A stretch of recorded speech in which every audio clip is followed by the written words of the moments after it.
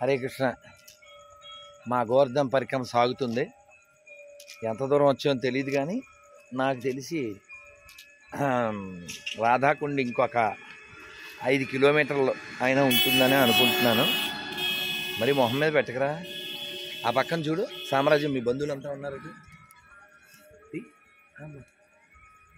చూసారా ఇవి అసలు పగలు లేదు రాత్రిలే నీ చుట్టాలది. పగలైన అవి అసలు చూడు అసలు. అల్లరే అల్లరే దారి ఎవరిది మనది? మందా మనది వాటికి అంత అడవి ఇచ్చావా అవును అంత గోవర్ధనం ఇచ్చావా అయినా మన దారిలో వచ్చి నీ చెయ్యి అడ్డం ఉంది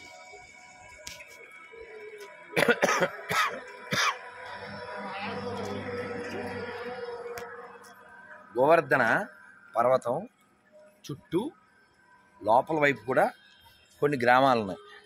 అందులో ఒక గ్రామం పేరు అన్యోర్. అంటే ఏంటి? అన్యోర్. అంటే బ్రింగ్ మోర్ అని అర్థం. కృష్ణుడు గోవర్ధనానికి యాగం చేయమని చెప్తాడు. అదే ఇంద్ర యాగం వద్దని చెప్తాడు కదా. అప్పుడు మరి మనం వండిన వంటలన్నీ ఎవరు తింటారంటే గోవర్ధండే తింటాడని చెప్తాడు. ఈయనే అందులో ఆయనే ఈయన కదా. అన్నీ తినేస్తాడు. వాళ్ళు తెచ్చిన అన్ని పెద్ద ఇది గోవర్ధనం అనుకో అది అది గోవర్ధనం కదా. గోవర్ధనం ముందు వీళ్ళు తెచ్చిన అన్నాలు కూరలు పప్పులు అన్ని పెద్ద కొండ కింద పెట్టేస్తారు. దాన్ని అన్నకూట మహోత్సవం అంటారు. ఏమంటారు? ఆ అన్నకూట మహోత్సవం. ఈయన గోవర్ధనుడు నోరు తెరిచి అన్నీ తినేస్తాడు. తినేసి అందులో సౌండ్ చేస్తాడు. అన్యోర్ అంటాడు. అంటే ఏంటి? బ్రింగ్ మోర్ అని. ఈ అన్యోర్ అనేది పదం ఎక్కడి నుంచి వచ్చిందంటే ఆయన నోటిలోంచి వచ్చింది. వీళ్ళు గబగబా ఇళ్ళకెళ్ళి ఇంకా దాచినవి అన్నీ ఉంటాయి కదా అప్పచ్చి గెప్పసలు అన్నీ తెచ్చిపెట్టేశారు.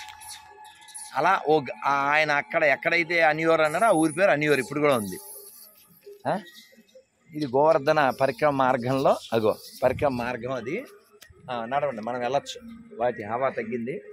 చూసుకో అటు చూసుకో. వాటి రౌడీజం. మేర రౌడీజం దేకో అంటే అవి. అమ్మ. వాటి ప్రభావం ఉన్న చోట మన ప్రభావం ఉండదు కదా మరి? బంద్ చేసేస్తే. గోవర్ధన గిరికి. జై. బంద్.